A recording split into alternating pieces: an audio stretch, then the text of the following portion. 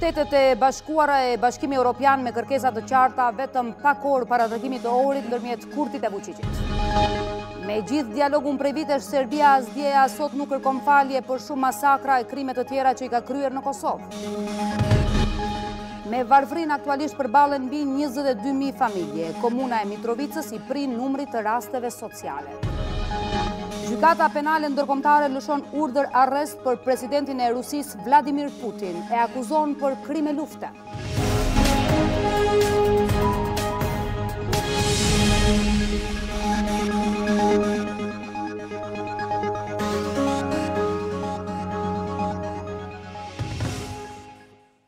Mirëmbrëma të gjithëve, mirë se vini në këtë edicion qendror lajmesh të nderuar teleshikues. Kanë mbetur vetëm edhe disa orë nga takimi i nesërm në qytetin e Ohrit, i cili u bë nikoqir i dy shteteve fqinje për finalizimin e marrëveshjes që synon normalizimin e marrëdhënieve ndërmjet Kosovës e Serbisë. Në prag të këtij takimi edhe mbrëmë edhe paraditën e sotme në Kosovë dha mesazhe emisari amerikan Gabriel Escobar. Ai pas darkës së mbrëmshme me opozitën sot takoi krerët e institucioneve të Kosovës, Pas takimit me presidenten Osmani, Escobar edhe njëherë shprehu besimin se nesër palët do të tregohen konstruktive. Takim me emisarin amerikan zhvilluan edhe kryeparlamentari Konjufca e kryeministri Kurti. Ky i fundit takimin e zhvilloi vetëm pak orë para nisjes për në Ohër. Takimi i nesërmë ndërmjet kryeministrit Kurti e presidentit Vuçiq e solli sërish në Kosovë emisarin amerikan Gabriel Escobar. Pasi mbrëmë u dha mesazhe liderëve të opozitës, mëngjesin e sotëm i shkoi në presidencë Vjosa Osmanit. Pas një ore takim, presidentja dhe diplomati amerikan dolën para gazetarëve. Gabriel Escobar edhe një herë theksoi se propozimi evropian ofron mundësi të jashtëzakonshme për paqe të qëndrueshme mes të dyja vendeve. Ne kemi për qëllim të mbështesim plotësisht çdo rezultat që sjell paqen më afër rajonit dhe intensifikon mundësitë për Kosovën, Serbinë dhe rajonin që të bëhen pjesë e plotë e komunitetit euroatlantik. Si mbështetësi më i madh i Kosovës në botë, ne kemi për qëllim që kjo të funksionojë për Kosovën, por edhe për të rajonin, që të zhbllokojë disa prej atyre burimeve më të mira që Ballkani ia siguron vetes, por edhe krejt Evropës. Shpresoj se pas të shtunës do të kemi lajme të mira. Presidentja Osmani tha se Kosova shkon drejt Ohrit, duke besuar fort për një marrëveshje të drejtë, ku të dyja vendet trajtohen si dy shtete të barabarta, e cila sipas saj do të sillte paqen afatgjate. Veç kësaj, tha se pret që marrëveshja të sjellë rezultate konkrete të prekshme për Kosovën. Çdo tendencë nga Serbia për të penguar këtë rezultat nëpërmjet kushtëzimeve mund ta dëmtojë pastaj tërësisht procesin e dialogut. Pritshmëria ime si Presidente e Republikës është se marrëveshja do të sjellë rezultate konkrete të prekshme për Kosovën. Rrjedhimisht do të sigurojë integrimin e Kosovës në institucionet euroatlantike. Do të sigurojë integrimin gjithëpërfshirës të komunitetit serb të Kosovës në institucionet e Republikës. Kjo do të rezultojë pastaj me shpërbërjen efektive të menjëhershme të gjitha strukturave ilegale të Serbisë. Pas presidentes, diplomati amerikan u prit në takim nga kryeparlamentari Glauk Konjufca, i cili ka potencuar se Kosova është e përkushtuar për fqinjësi të mirë, paqe dhe stabilitet në rajon. Tutje, Konjufca ka thënë se asnjëherë nuk do ta humbin fokusin nga njohja e plotë dhe se çfarëdo marrëveshje që mund të arrihet në procesin e dialogut me Serbinë, duhet të respektojë në plotni sovranitetin, integritetin territorial dhe rendin kushtetues të Republikës së Kosovës. Të fundit nga liderët institucionalë, Escobar sot e takoi kryeministrin Kurti, vetëm pak orë para se të nisej për në Ohër. E takimi i nesërm ishte gjithsesi në fokus të takimit. Zyra e kryeministrit, pas takimit, tha se delegacioni qeveritar i Kosovës udhëton për në Ohër, me vullnet të mirë, qëllime të mira dhe besim të mirë. Edhe kryediplomati europian Josep Borrell dha sërish mesazhe për të dyja palët. Sipas tij, edhe Kosova edhe Serbia duhet ta shfrytëzojnë këtë mundësi, sepse askush nuk përfiton më shumë sesa popujt e të dyja vendeve. Pra vlera e shtuar e kësaj marrëveshjeje duhet të jetë që të jetë e zbatueshme, pra duhet të pajtohemi mbi mbi mënyrën si dhe kur të implementohen këto.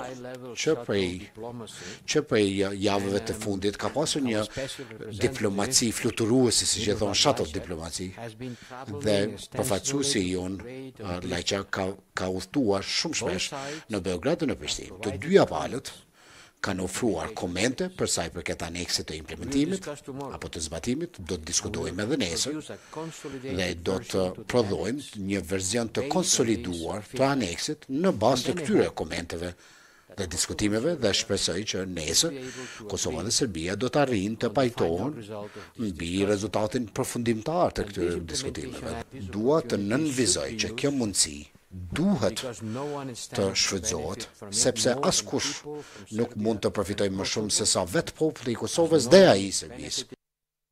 Pra, qyteti i Ohrit nesër pret dy shtetet fqinje në një takim që ka për qëllim finalizimin e zbatimit të planit franko-gjerman, për të cilin palët u pajtuan më njëzet e shtatë shkurt në Bruksel. Ekipi ynë ka arritur në Ohër, do të flasim tani drejtpërdrejt me kolegen Leonora Bërbatovci.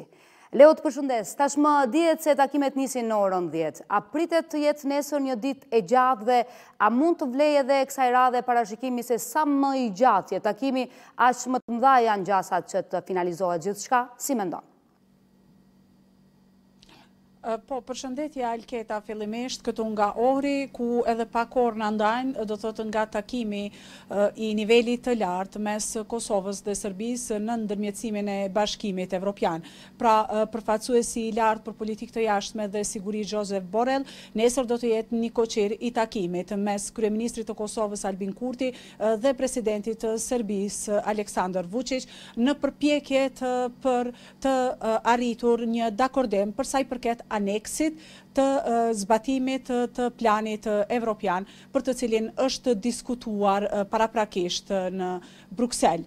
Takimet, siç e thatë edhe ju, pritet të nisin në orën dhjetë, ndërkohë që gjithçka pra dihet kur nis, por nuk dihet se kur përfundon. Nuk ka një agjendë të qartë se kur pritet të ketë një epilog, të them kështu, nga ky takim dhe natyrisht se vlen ajo thënia që sa më shumë që të ketë takim në aspektin kohor, aq më të larta janë gjasat për të arritur një dakordim në mes të palëve.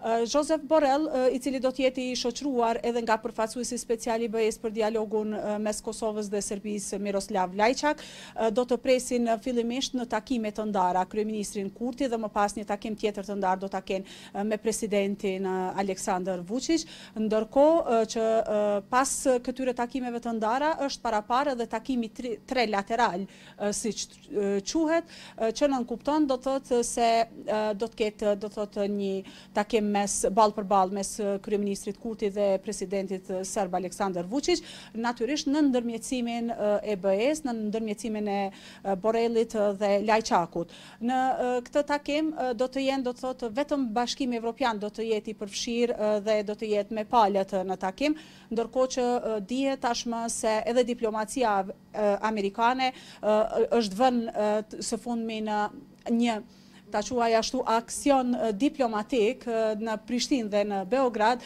duke tentuar për të bindur palët për arritjen e një dakordimi, i cili sipas tyre do të sjellë përfitime për të dyja vendet. Por SHBA-të nuk do të jenë të kyçura drejtpërdrejt, do të thotë në brenda takimeve, mirëpo kjo nuk nënkupton që ata nuk do të jenë fizikisht këtu në Ohër, por jo edhe brenda takimit. Në këtë kuadër, para se të nisë Takimi i nesërm, përfaqësuesi i lartë i BE-së, Josep Borrell, ka zhvilluar një telefonatë me sekretarin amerikan të Shtetit, Antony Blinken, ku mes të tjerash, do të thotë mes të temave të tjera ndërkombëtare, në aspektin ndërkombëtar, është diskutuar edhe për procesin e dialogut mes Kosovës dhe Serbisë, ku natyrisht janë inkurajuar palët për të arritur një dakordim për sa i përket aneksit të zbatimit të planit evropian, i cili në fakt si plan nisi si ide e propozuar si plani franko-gjerman që quhej atë kohë, derisa tashmë është zyrtarizuar pak a shumë të themi si një plan evropian, i cili dërgon drejt një marrëveshje më gjithëpërfshirëse të normalizimit të raporteve mes Kosovës dhe Serbisë, mirëpo e cila do të ndodhë pas një dakordimi që mund të arrihet eventualisht për aneksin e zbatimit të marrëveshjes evropiane. Ky takim, siç e thatë, po mbahet në Ohër, është hera e parë që në procesin e dialogut Kosovë-Serbi, takime të tilla të nivelit të lartë, do të thotë mbahen jashtë ndërtesave të Brukselit dhe siç e dimë, Ohri përveç një qyteti turistik e kulturor, njihet edhe si një, si një qytet i diplomacisë ku janë arritur marrëveshje të paqes, ndër të tjera është edhe marrëveshja e vitit 2001, i cila e cila i dha fund konfliktit në Maqedoni. Për Kosovën marrëveshje janë arritur në Maqedoninë e Veriut Edhe më herët njihet edhe marrëveshja e Kumanovës. Ndërkohë që ne presim të shohim, ne do të jemi nesër gjatë gjithë ditës këtu për të parë zhvillimet për së afërmi lidhur me me këtë proces. Gjithsesi vetëm më duhet ta them për fund që Bashkimi Evropian këtë takim nuk e ka lidhur me simbolikën e Ohrit si qytet i marrëveshjeve ku arrihet paqe, mirëpo është thënë se përfaqësuesi Borrell ka rastisur që të jetë në këtë periudhë këtu në Ohër dhe i ka ftuar palët natyrisht që të vijnë dhe dhe të flasin. Kjo është pak a shumë një përmbledhje rreth asaj, do të thotë paralajmërim për takimin e nesërm, ndërkohë që ne do të jemi nesër gjatë gjithë ditës në transmetim për të sjellë informacionet hap pas hapi. Saktë. Leonora të falenderoj për momentin. Nesër qysh nga mëngjesi do t'ju kemi drejtpërdrejt me të gjitha informacionet e fundit. Qyteti i Ohrit nuk është i panjohur për nënshkrim marrëveshjesh. Aty, njëzet e dy vjet më përpara, u nënshkrua Marrëveshja e Ohrit, e cila i dha fund konfliktit të armatosur disamujor në Maqedoninë e Veriut. Në objektin e njëjtë do të mbahet edhe takimi i nesërm Kurti-Vuçiq dhe, siç duket, jo rastësisht, ky qytet është zgjedhur si mikpritës i dy shteteve fqinje për ta finalizuar planin europian. Qyteti i Ohrit do t'i presë nesër kryeministrin e Kosovës, Albin Kurti dhe presidentin serb, Aleksandër Vuçiq për të diskutuar rreth planit për normalizimin e marrëdhënieve mes Kosovës dhe Serbisë. Takimi do të zhvillohet në të njëjtin objekt ku njëzet e dy vite më parë u nënshkrua Marrëveshja e Ohrit, e cila i dha fund konfliktit të armatosur disamujor në Maqedoninë e Veriut. Analisti politik Mixhait Pollozhani vlerëson se takimi i nesërm është i domosdoshëm dhe me domethënie historike. Kuptohet që marrëveshjet e këtilla janë të një rëndësie të veçantë dhe edhe e kaluara ka treguar se marrëveshje të këtij karakteri kanë dalë kanë dalë të mira për Kosovën, por mendoj që me rëndësi është se si do funksionojnë institucionet e shtetit të Kosovës. Nëse Prishtina është e fortë, shteti i Kosovës do jetë shumë i fortë. Qytetarët që intervistuam në Ohër dhe në Strugë kanë vlerësime të ndryshme rreth takimit të nesërm. Ata presin që marrëveshja përfundimtare të jetë në dobi të popullit të Kosovës. Besoj që udhëheqësia e Kosovës ka vizion të qartë dhe çdo marrëveshje që do të bëhet me siguri do të jetë në dobi të popullit të Kosovës. Serbia duhet ta pranojë dhe bota duhet të jetë krah Kosovës, po Serbia duhet edhe t'i t'i bëjë një mea culpa shumë të madhe jo vetëm Kosovës, po ndoshta edhe të gjithë qytetarëve të kësaj bote për shembullin e keq që ka dhënë politika serbe. Nuk pres. Mund të nënshkruhet, por që të implementohet të pala serbe kurrë nuk do ta implementojë. Në prag të takimit të nesërm në Ohër është shtuar prania e policisë. Të nderuar shikues, sapo ka përfunduar mbledhja e Këshillit Drejtues të Partisë Demokratike të Kosovës, kryetari i partisë Memli Krasniqi i ka informuar sonte anëtarët për takimet dhe diskutimet e shumta të ditëve të fundit me akterë vendorë e ndërkombëtarë. Krasniqi edhe një natë para takimit të Ohrit ritheksoi se kjo marrëveshje është e pamjaftueshme dhe nuk realizon qëllimet shtetërore të Kosovës dhe qytetarëve të saj. Nga një marrëveshje me njohjen e ndërsjellë në qendër, sot fatkeqësisht kryeministri Kurti i ka sjellë vendit një marrëveshje të përkohshme me Asociacionin në qendër, tha Krasniqi. Ai theksoi se vetëm një marrëveshje finale dhe gjithëpërfshirëse, ligjërisht e obligueshme dhe e garantuar ndërkombëtarisht, e përqendruar në njohjen reciproke ndërmjet Kosovës dhe Serbisë, mundëson paqe të qëndrueshme dhe avancim konkret të integrimit euroatlantik të Republikës së Kosovës. Këshilli Drejtues miratoi pa asnjë votë kundër deklaratën e propozuar nga lideri i partisë në raport me situatën aktuale politike dhe marrëveshjen finale mes Kosovës dhe Serbisë.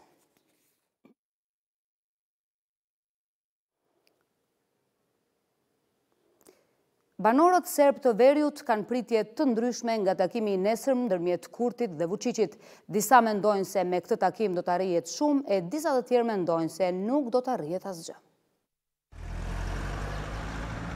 Pritjet nga takimi i tetëmbëdhjetë marsit në mes të kryeministrit të Kosovës, Albin Kurti dhe presidentit serb, Aleksandër Vuçiq, janë të ndryshme. Banorët serbë të Mitrovicës së Veriut presin që në Ohër të nënshkruhet marrëveshja finale mes të dyja palëve. Presim të bëhet më mirë, edhe pse po lëvizim lirshëm në të dyja anët askush askënd nuk e pengon, por gjithçka vendoset prej atyre, po presim se bëhet më mirë. Çka të presim, sigurisht që do të nënshkruajnë. E kanë obligim të nënshkruajnë, duhet, s'kam çka të shpresoj më mirë kur ata do ta kryejnë atë punë, sepse e kanë kusht të nënshkruajnë. Shpresojmë për krejt më të mirat, nuk është e lehtë për popullin që jeton këtu, besojmë dhe shpresojmë për më mirë. Megjithatë, ka edhe banorë serbë që nuk presin asgjë nga takimi i nesërm. Asgjë, bash asgjë nuk pres, si gjithmonë. Në takimin e radhës pritet të diskutohet për planin e zbatimit të propozimit të BE-së për normalizimin e marrëdhënieve ndërmjet Kosovës dhe Serbisë. Me gjithë dialogun prej vitesh Serbia as dje e as sot nuk ka kërkuar falje për shumë masakra e krime të tjera që i ka kryer në Kosovë. Madje Beogradi zyrtar u mundua që ta mohojë masakrën e Reçakut, Për këtë masakër, para katër vjetësh në Kosovë u duk se nisën hapat e parë të themelimit të një tribunali që do t'i gjykonte këto mizori të Serbisë, por ende nuk ka asgjë konkrete. Ishte pesëmbëdhjetë janar i vitit një mijë e nëntëqind e nëntëdhjetë e nëntë, ora gjashtë e tridhjetë e mëngjesit. Atë ditë dimri, dielli sa kishte lëshuar rrezet e para mbi Reçak, Ky do të ishte mëngjesi i fundit për dyzet e pesë banorë të këtij fshati. Atë ditë, disa orë më vonë forcat serbe pasi granatuan Reçakun, kryen një nga masakrat më të tmerrshme në Kosovë. Trupat e dyzet e pesë banorëve të masakruar në kodrën mbi fshat, tmerruan botën dhe e shtyn atë të veprojë më shpejt. The deaths in Raçak demand justice and justice must be seen to be done. Vrasjet, vdekjet në Raçak kërkojnë drejtësi dhe kjo drejtësi do të arrihet. Megjithatë, asnjë prej atyre që kryen këtë krim nuk u përball ndonjëherë me drejtësinë, por jo vetëm për këtë masakër. Edhe ata që i kanë kryer mbi katërqind masakra të tjera në Kosovë nuk janë gjykuar për ato krime. Për këtë para katër vjetësh u duk se nisën hapat e parë për themelimin e një tribunali ndërkombëtar si tentativë për dënimin e krimeve të kryera nga shteti i Serbisë gjatë luftës në Kosovë. Megjithatë deri më tani asgjë nuk është punuar në këtë drejtim. Njohësit e çështjeve të drejtësisë thonë se institucionet e Republikës në vazhdimësi që nga koha e transferimit të kompetencave nga Euleksi në institucionet e drejtësisë nuk kanë pasur vizion që t'i trajtojnë krimet e luftës në Kosovë. Ehat Miftaraj nga Instituti i Kosovës për Drejtësi thotë se Kosova ka dështuar në këtë pikë. Nuk ka pasur një qasje sistematike, nuk ka pasur një vizion i cili do të ndikonte që të kemi policë, numër të policëve të mjaftueshëm, të trajnuar, të specializuar me i hetu këto lëndë. Nuk kemi pasur një sistem prokurorial me vizion i cili do t'i konsideronte do të thotë krimet e luftës në Kosovë me top prioritet. Ndonëse sipas profesorit të së drejtës penale Ismet Salihu, Kosova nuk ka të drejtë themelimin e një gjykate penale ndërkombëtare, ai thotë se është zhgënjyes vullneti i institucioneve në grumbullimin e informacioneve për kryerësit e krimeve të luftës. Është lëshim i madh, gabim i madh, mospuna e jonë, që nga lufta deri me sot në aspektin e hulumtimit, grumbullimit, sistemimit dhe të publikimit të krimeve serbe. Megjithatë kanë kaluar 23 vjet që nga përfundimi i luftës numri i të dënuarve që kanë kryer krime, dhunime, zhdukje dhe shkatërrime të pronës është shumë i vogël. Sipas të dhënave, gjatë luftës në Kosovë ishin vrarë mbi trembëdhjetë mijë njerëz, ishin dëbuar mbi tetëqind mijë shqiptarë nga shtëpitë e tyre, ishin zhdukur mbi gjashtë mijë persona e ishin dhunuar rreth njëzet mijë gra. Pikërisht sot, familjarë të dëshmorëve e veteranë të luftës kujtuan njëzet e katër vjetorin e rënies së gjashtë dëshmorëve të fshatit Korishë të Prizrenit, që krahas shumë të tjerëve shkruan historinë më të re të Kosovës. Korisha e Prizrenit njihet për vlerat historike që ka bartur ndër shekuj. Ky fshat, në luftën e fundit i dha lirisë së vendit gjashtë bij që ranë në fushën e nderit përballë forcave të shumta serbe. Shkaktohet humbje të mëdha në radhët e ushtrisë serbe. Por, fatkeqësisht, edhe nga radhët tona kemi pasën tri tre dëshmorë, Halim Mametaj, Rexhep Kukaj edhe Murat Kabashi, të cilët binë në vijën e frontit tu u përballë me forcat serbe, të cilat numerikisht ishin 50 herë ma tepër se sa që ishim ne si, si ushtarë të Ushtrisë Çlirimtare të Kosovës. Djemtë e këtij fshati edhe në fundvitet e nëntëdhjeta, ndoqën rrugën e të parëve. Domethënë, kemi ndjek në një farë forme, gjeneratat e vjetra, jemi mundu pak a shumë t'i kopjojmë aq sa kemi mujt, dhe luftës frymë, ose guxim, ose i ka dhonë rasti vrasja për shembull Adem Jasharit.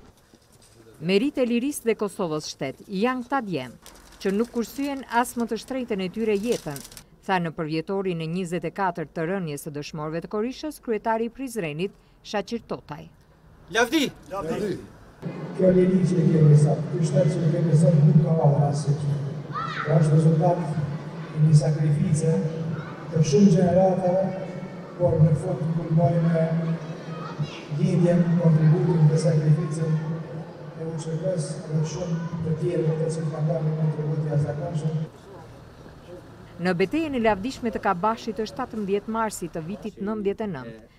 Ranë heroikisht tre dëshmorë, ndërsa gjatë rezistencës nëntëdhjetë e tetë nëntëdhjetë e nëntë, Korisha i dha lirisë me pushkë në dorë gjashtë bijë.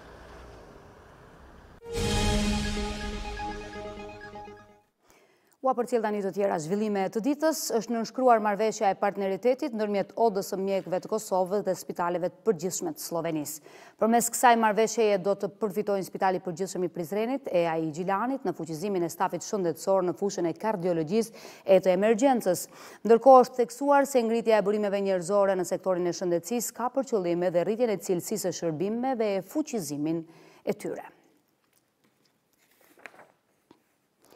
Mbesim tek sfidat e shëndetësisë, trendi i ikjes së punëtorëve shëndetësorë nga Kosova po vazhdon edhe gjatë këtij viti. Vetëm nga janari e deri më sot, mbi dyqind e njëzet punëtorë shëndetësorë kanë lëshuar Kosovën. Përfaqësues të punëtorëve shëndetësorë thonë se edhe punonjës të tjerë janë duke u përgatitur për ta lëshuar vendin. Ikjen nga Kosova po vazhdojnë ta shohin si zgjidhje të vetme për një jetë më të mirë. Për këtë, që nga një janari i këtij viti e deri më sot, mbi dyqind e njëzet punëtorë shëndetësorë morën rrugën për në shtetet e tjera. Prej tyre, pesëdhjetë e tre ishin mjekë. Trendi do të thotë është duke vazhduar. Tash të shiqojmë se çka se do të ndikojë ligji i pagave, pasi që një një prej arsyeve ka qenë çështje financiare. Trendi i ikjes së punëtorëve shëndetësorë nuk pritet të ndalet me kaq. Kjo pasi ikje masive e stafit paralajmërohet edhe më tej për shkak të pakënaqësive që lidhen me pagat dhe kushtet e punës. Janë mbi dyqind e njëzet punëtorë shëndetësorë, ndërsa janë diku rreth njëqind e katërdhjetë infermierë që vetëm gjatë këtyre tre muajve të parë të këtij viti e kanë braktisë Kosovën. Edhe ata të cilët kanë pasë hezitime a me shku Me emigru në Gjermani ose jo, domethënë ju ka bo e qartë që ata vërtet mo nuk kanë pse të punojnë këtu. Infermierët thonë se me largimin e stafit nga vendi do të mund të rrezikohet edhe ofrimi i shërbimeve shëndetësore. Duhet të marrim shumë seriozisht këtë këtë fenomen, i cili po i ndodh shoqërisë tonë, sepse unë besoj që nëse nuk ndërmerren urgjentisht diçka duke punuar me grupe dhe ekspertë të fushave për të ndaluar këtë këtë fenomen, Unë jam shumë i bindur që në një kohë shumë të shkurtër shërbimet ose sistemi jonë publik do të jetë në një lloj kolapsi. Mijëra punëtorë shëndetësorë merret vesh se po ndjekin kurset e gjuhëve të huaja, pasi synojnë që në një të ardhme të afërt të ikin nga Kosova. Me vite, në dy lokacione në kryeqytet shihen punëtorë krahu që qëndrojnë me orë të tëra në rrugë për të siguruar një punë gjatë ditës. Punë të përhershme thonë se nuk kanë gjetur kurrë, Të zhgënjyer nga shteti, hezitojnë të shfaqin fytyrat e të flasin përpara kamerës. Thonë se nuk ia vlen. Ndjekim kronikën e gazetares Valjeta Shala. A keni nevojë për punëtorë? Dita e një prej punëtorëve fizikë nis në mëngjes e përfundon në orët e vona me këtë thirrje se A keni nevojë për punëtorë? I tillë është edhe rasti i një punëtori në Prishtinë, i cili çdo ditë kërkon që të gjejë punën e radhës. Ndonëse shpesh herë nuk ka punë, por megjithatë thotë se i duhet të qëndrojë në rrugë me orë të tëra. Në kushte anonimiteti, ai tregon për RTK-në vështirësitë për të gjetur një vend pune të cilën çdo ditë e kërkon tash e njëzet vjet. Na dalim qe njëzet vite këtu dhe çdo herë kena punu punë ma të vështira, ma të rana, punë krahi. Edhe kështu prej tyne qeverive, gjithë e gjitha qeverive s'na kanë s'na kanë marrë kurrë parasysh neve këtu, me na marrë në punë diku nifar pune. Sot jena prej orës dhjetë. Deri me tani s'kena shku kërkun, as na ka thirr kërkush. Edhe ku me ditë shkojmë, rrimë tej mramje, po s'na thirr kërkush. Punëkërkuesi thotë se merret me të gjitha llojet e punëve të përditshme në mënyrë që të mbajë familjen e tij gjashtanëtareshe. Shumë herë thotë se kishte kërkuar punë, por pa sukses. Të ardhurat e vetme që thotë se ka është nga një pension veterani. Vështirë shumë. Na jemi gjashtë anëtarë të familjes, një penzion e kam, njëqind e shtatëdhjetë euro tana shpenzimet du m'i pagu, kena menu diçka një jetë ma të mirë. Edhe me jo veç unë që kam kon ushtar, po të gjithë me punu e me pas një jetë të mirë të mundshme. Sadopak me me ja dalë prej kësaj situate. Në të njëjtin vend shihen edhe dhjetëra përsona të papunë. RTK ka provuar të flasë edhe me disa punëtorë të tjerë, të cilët qëndrojnë në rrugën Ilir Konushevci për të kërkuar çdo ditë punë, por ata nuk kanë pranuar të flasin para kamerave. Megjithatë, prapa saj, kanë shprehur zhgënjimin e tyre me të gjitha institucionet. Na vetëm të fol që njëzet e katër vjet jem të fol dhe badi halla. S'po çon peshë kurrgjë. Prit sa bo që tu për favor umër dhe e na lo. Po jo jo s'po ka se s'po na morr s'ka punë. Në përpjekje për t'i siguruar të ardhurat, shihen edhe shumë të tjerë edhe në afërsi tregut të gjelbër të Prishtinës. Punëkërkuesit këtu janë nga të të gjitha moshave.